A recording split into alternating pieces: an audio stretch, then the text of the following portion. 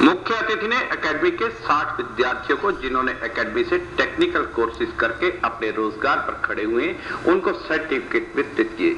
उन्होंने अपने संदेश में सभी विद्यार्थियों को और अधिक मेहनत करने, व आत्मनिर्भर बनने पर प्रकाश डाला।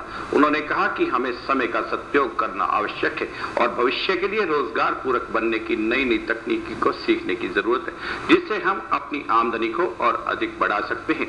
एकेडमी के डायरेक्टर प्रमोद सैनी ने अपने संदेश में बताया बताया कि जो भी कोर्सेज कराए जा रहे हैं, इनको सीखने के उपरांत एकेडमी के ज़्यादातर विद्यार्थी आत्मनिर्भर बन रहे हैं। उन्होंने कहा कि इस परिणाम पर वह और उन्हें अध्यापकों पर गर्व है। इस अवसर पर सफलता प्राप्त करने वाले विद्यार्थियों में राकेश, अनुज, रजनीश, सचिन, गगन, अंकित तन हरीश, शक्ति आदि ने अपनी सफलता का श्रेय एकेडमी को दिया। इस अवसर पर जेपी शर्मा, रविंदर शर्मा सतीश शर्मा, महावीर गोयल वे सभी अध्यापक गण मौजूद थे। और मुझे ये जानकर बड़ी खुशी